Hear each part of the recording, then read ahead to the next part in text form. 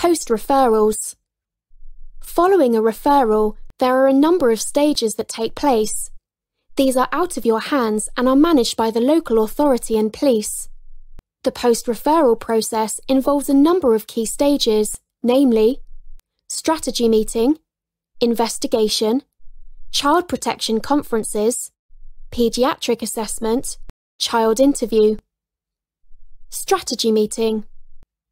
This is a professionals only meeting called by social services and chaired by a team manager. Parents and young people do not attend. The purpose of the meeting is to share information amongst the agencies and professionals to enable discussion and analysis and to plan and agree the action needed to safeguard the child and or provide interim services and support. Investigation.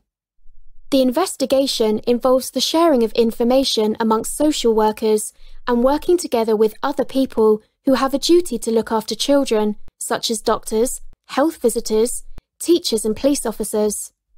The law requires that the police must be involved when there are concerns that an offence has been committed against a child. Child Protection Conference If needed, a Child Protection Conference will involve all the key people involved with the child and child's family. The conference is designed to collate and analyse information about the child to enable judgment on the probability of the child suffering future significant harm and to agree future action needed to protect the child. As a result of a child protection conference for a child, whom it is agreed there is a likelihood of significant harm, a child protection plan will be put together. Paediatric assessment. A doctor must not examine a child any more than is absolutely necessary. It is usual to conduct a paediatric consultation rather than an examination.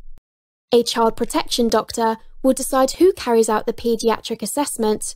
For example, a general practitioner could complete the examination of a bruise, whereas sexual abuse may need examination by a forensic medical examiner and a consultant paediatrician.